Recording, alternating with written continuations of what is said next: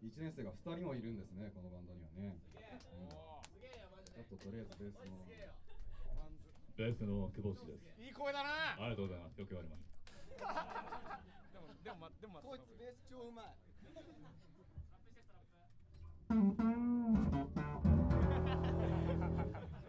やりすぎたなやりすぎたちょっと長い。ちょっと長い。ドラムの小山伊代です。いいよちゃん